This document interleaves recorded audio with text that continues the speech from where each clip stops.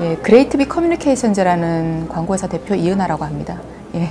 제가 10년 넘게는 회사 생활을 했었습니다. 근데 회사 안에서는 이렇게 개발할 수 있는 여러 가지 tool을 제공을 해주잖아요. 근데 어, 나와서 혼자 사업을 하다 보니까 자기 개발을 해야겠는데 어떤 게 좋을까 좀 고민을 하다가 휴넷이라는 곳을 알게 됐습니다. 예. 저희 회사가 궁극적으로는 브랜드 마케팅 회사를 예, 지향을 하고 있습니다. 어, 그리고 업계나 관련자들이 다 마케팅에 종사하시는 분들이시라 어, 최신 트렌드라든지 사례들을 이제 얘기를 할 때 좋은 예, 과정이었던 것 같습니다.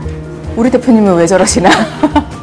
제가 그렇게 공부를 하니까 본인들도 뭔가 해야 될 것 같고, 예, 그래서 좀 부담을 느끼는 것 같긴 하더라고요. 예. 음, 아무래도 용어 사용, 그 다음에 뭐 사례 같은 걸 얘기를 할 때, 좀 사례를 들 수 있는 어, 풍성한 대화거리, 예, 예, 그런 것들이 좀 달라졌던 것 같습니다. 예. 평생 공부는 해야 될 것 같고요. 그리고 시대가 굉장히 빠르게 변화하고 있어서 멈추면 어, 그대로 따라가는 게 아니라 뒤처지는 거더라고요. 그래서 그런 현대의 페이스를 맞추기 페이스를 맞추기 위해서는 공부는 계속 해야 된다. 그러기에 휴넷은 어, 시간 절약하고 예, 정보 습득하기에 좋은 어, 과정이 아닐까 싶습니다.